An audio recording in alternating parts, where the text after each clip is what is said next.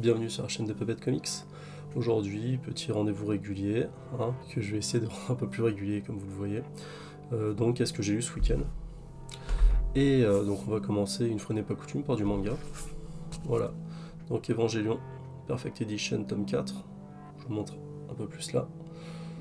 Donc euh, très bien, on commence véritablement à savoir ce qui se passe avec les anges, qu'est-ce qui s'est passé sur le, sur le premier impact, ce qui s'est passé avec euh, donc les principaux personnages, euh, notamment euh, quelques origines de Ryuji dedans, et puis bon bah vous verrez ce qui arrivera.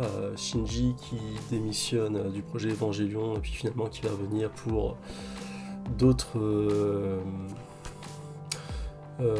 d'autres activités vont nécessiter qu'il revienne et finalement qu'il fasse quelque chose et c'est là dans le dessin animé que c'est très cryptique parce que finalement L'ange, on commence à se douter de qu'est-ce que c'est. Euh, est-ce que c'est bah, l'évangélion? Est-ce que ça vient d'un ange? Est-ce que c'est un humain? Est-ce que c'est un hybride? Et autres On se pose des tas de questions qui étaient vite passées dans le dessin animé à ma connaissance. Et finalement, moi, je vous l'ai dit, si j'ai pris ce manga, bah, c'était pour savoir, pour connaître un peu plus l'histoire d'Évangélion, que ça soit un peu plus pointu.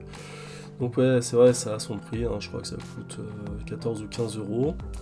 Mais euh, si vous avez toujours voulu savoir ce qui se passait dans l'univers Evangelion, euh, euh, ça vaut le coup. Après, comme dans toutes les Perfect Edition, vous avez des pages qui sont colorisées.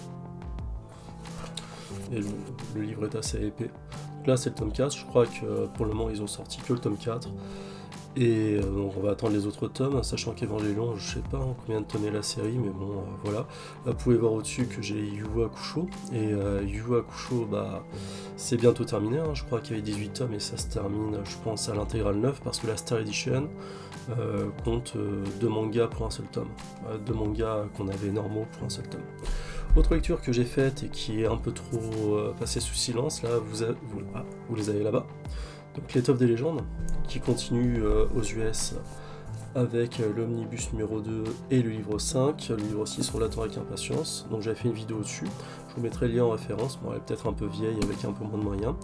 Euh, le pitch, en fait, un garçon est enlevé par Croque-Mitaine et finalement, c'est ses jouets qui vont aller le chercher dans le monde du Croque-Mitaine qui s'appelle l'Obscur. Et ça vaut vraiment le coup. C'est vraiment une série qui était méconnue, qui a été éditée bien sûr par chez nos amis de chez Soleil qui ont la fâcheuse habitude qu'en comics ils ne finissent pas leur série. Et ça a été vrai pour Tortue Ninja, ça a été vrai pour Juge Dredd et ça a aussi été vrai pour les tomes des légendes, où il n'y a que 3 tomes en VF, les 3 tomes sont là. Vous pouvez les voir, si vous vous y intéressez, allez-y. Si ça vous rebute de les prendre en anglais, euh, tant pis, ça finit sur un gros... Euh, sur... Euh, comment dire, euh, un gros cliffhanger. Et euh, franchement, ça vaut vraiment le coup. Série trop méconnue en France, euh, The Stuff of Legends en anglais. Voilà. dernière lecture qui a été très agréable. vous l'avez vu passer chez d'autres collègues youtubeurs. Démon, Demons, donc de Greg Snyder et de Capullo. Alors Capullo, il avait dessiné sur les spawns et tout ça. Snyder, bah, il avait fait pas mal de titres. Moi, un des plus marquants, mais dans le mauvais terme, c'était le Batman Last Night on Earth que j'avais pas trouvé terrible, mais après euh, Snyder il a fait de très bons titres aussi.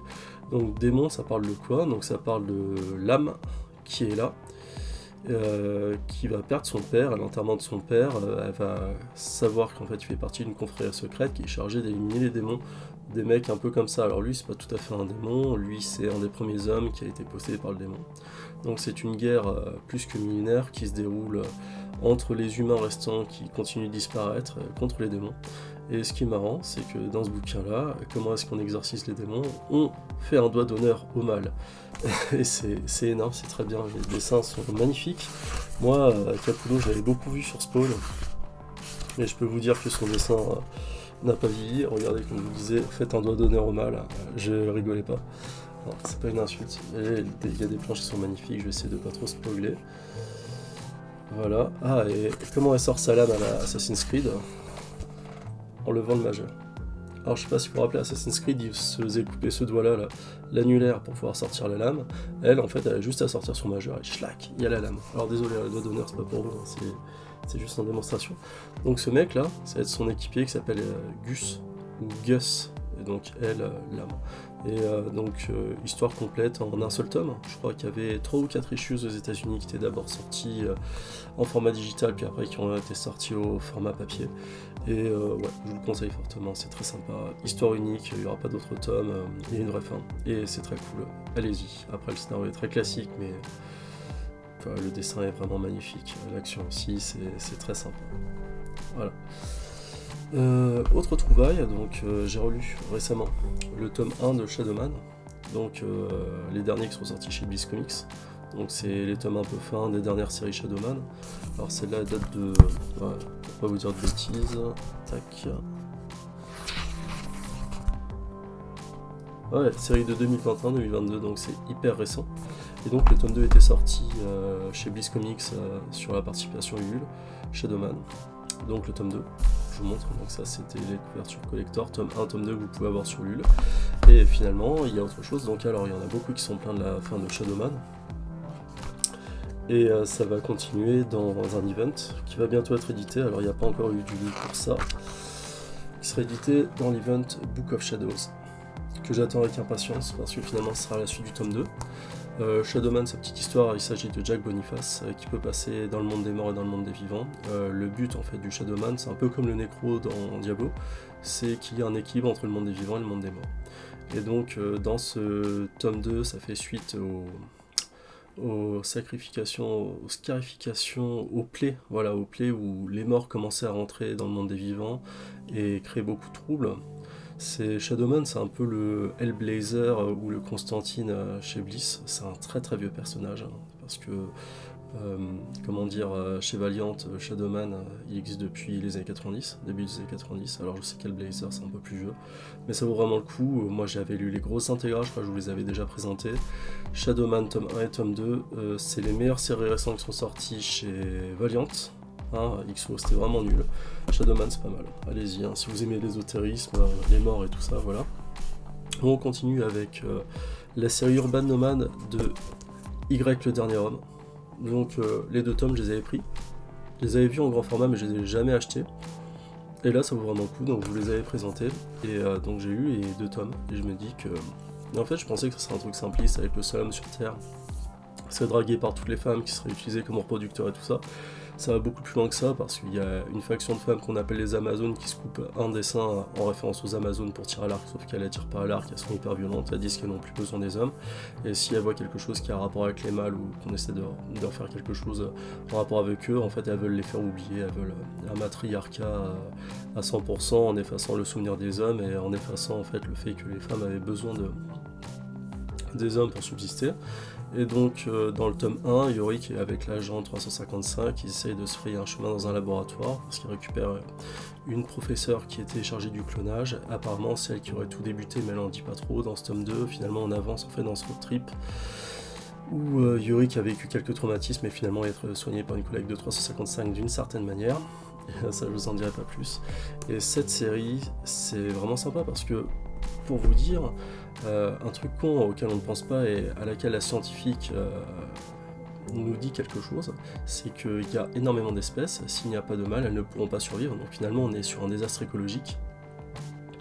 Finalement les animaux ne peuvent plus se reproduire. Euh, alors je sais qu'il y a certaines espèces qui peuvent s'adapter, hein, des îles où, je sais pas, un pote qui fait de la bio m'a dit qu'il y avait une île où il y avait des lézards, il n'y avait que des femelles, les femelles avaient réussi à se reproduire d'une certaine manière, à s'adapter. Donc finalement là dans le monde de Y le dernier homme, il doit faire face à cette société, à finalement l'anéantissement à la fois donc, euh, du règne animal par ce biais et aussi le futur de l'homme.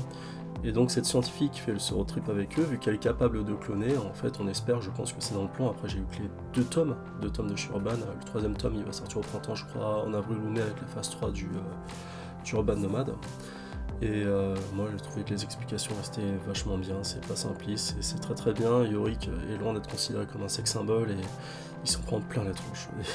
c'est vraiment pas mal, mais on le voit s'endurcir, on le voit évoluer, c'est pas mal. Et les personnages également, comme l'agent 355, il y a énormément de révélations. C'est très très dur. C'est très très dur, c'est du, du, vrai post-apo en fait. Hein. Et euh, finalement, c'est une très bonne série. En Urban Nomad, ça coûte pas très cher. Allez-y. Moi, j'hésitais à les prendre quand ils étaient grands parce que j'avais pas la place et j'ai trouvé un peu cher. En Urban Nomad, c'est pas mal. toute façon, je vous avais fait une petite review sur les deux phases d'Urban Nomad et Y était vraiment un des titres qui m'intéressait le plus et j'ai pas regretté mon achat.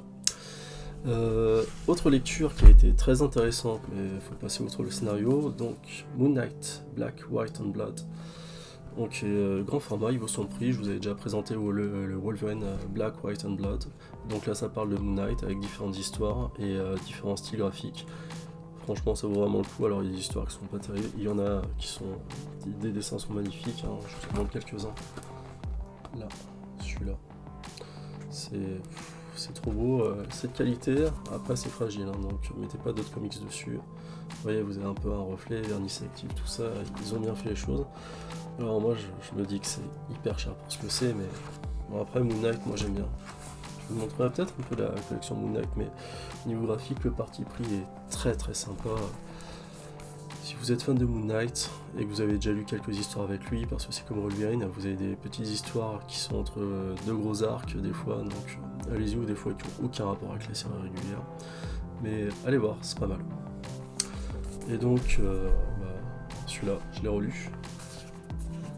Que euh, je voulais en faire une vidéo. Je me suis dit, est-ce que ça vaut le coup d'en faire une vidéo euh, Zoomman en avait parlé, les comics de Fred en a parlé. Alors, j'ai vu la vidéo des comics de Fred et je suis absolument pas d'accord avec ce qu'il dit. Après, c'est mon avis. J'aime bien Fred, ce qu'il fait, ce qu'il présente et tout ça. Après, je vous présenterai, je vous ferai une vidéo dédiée pour l'étrange vie de Nobody Owens. Là, je suis en train de lire le roman.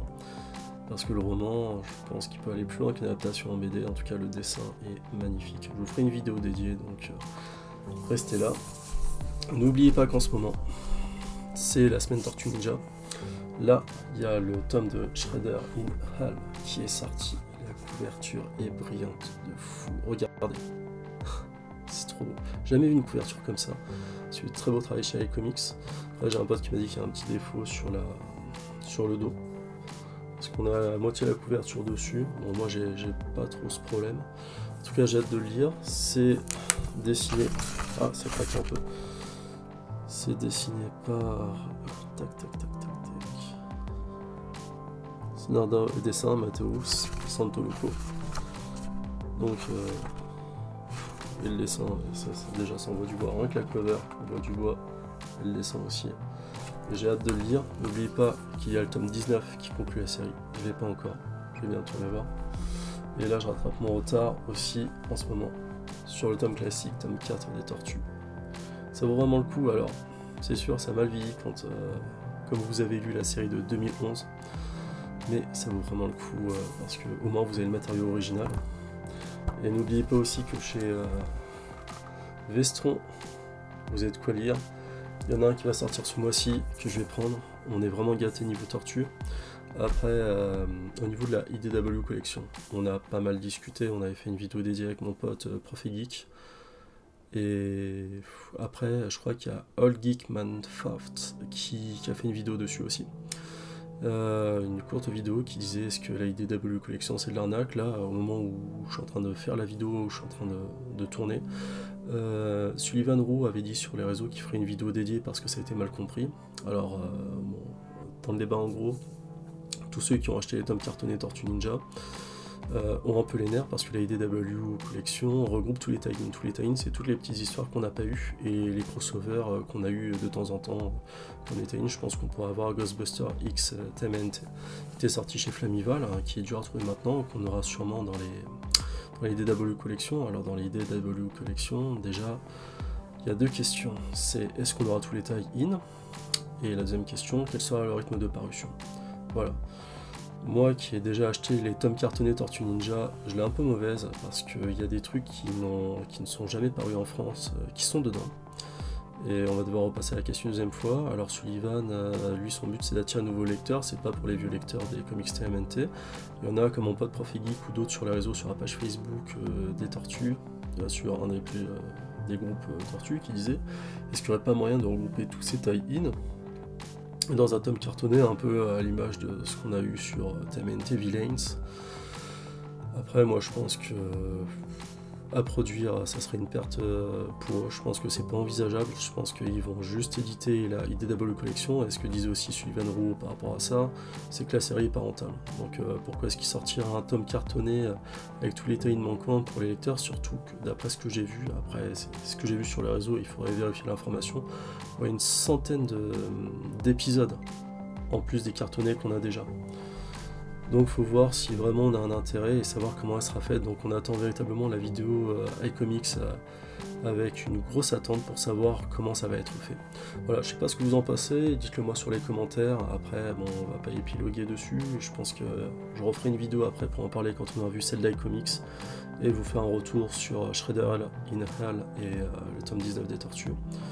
Sachant que la série s'arrête, oui et non, parce que la série va continuer d'autres surprises. Là, je vais pas vous en parler parce que bon, il y a des trucs avec Jenica et autres. Euh, voilà, là, j'en dis un peu trop. Et je vais aussi récupérer euh, l'Astronine Last Years parce que l'Astronine, en fait, euh, la série a tellement bien marché qu'ils vont continuer. Ils vont faire une préquelle et une séquelle. La préquelle est déjà sortie aux États-Unis, Last Years, qui raconte finalement l'histoire du Ronin, comment est-ce qu'il va se former entre temps entre la mort de ses frères et et son retour à New York. Voilà, on vous en dit pas plus. Merci de m'avoir suivi. N'hésitez pas à partager, commenter, liker si vous aimez cette vidéo. Et euh, je ne vous oublie pas, hein, je n'oublie pas les lecteurs pour euh, les Conan de chez Glénat. Je vais faire un épisode qui sera dédié. D'ailleurs, il y a un épisode qu'il faudrait que je vous que, euh, que, je vous montre sur les Conan parce que Conan chez Glénat, c'est de la BD franco-belge certes, mais c'est le style graphique par chaque dessinateur, c'est vraiment hyper bien. enfin bref, je digresse. Je referai une vidéo dédiée sur un tome que j'aurais choisi de Conan et un tome que les lecteurs m'ont demandé chez Glénat. Et peut-être faire un petit comparatif euh, d'un épisode euh, Glénat et d'un épisode sorti chez Marvel Comics. Pourquoi pas À vous de me dire quel est votre épisode préféré de Conan et voir si vous voulez qu'on fasse une vidéo sur la chaîne pour en parler. Voilà, je vous dis à bientôt, à plus. Bonne tortelement le mois des tortues. Hein. Éclatez-vous bien si vous aimez les tortues. Là, il y a plein de sorties qui font arriver, donc lâchez-vous. Moi, c'est ce que je vais faire, je vais me lâcher. Voilà, allez, à plus. Ciao.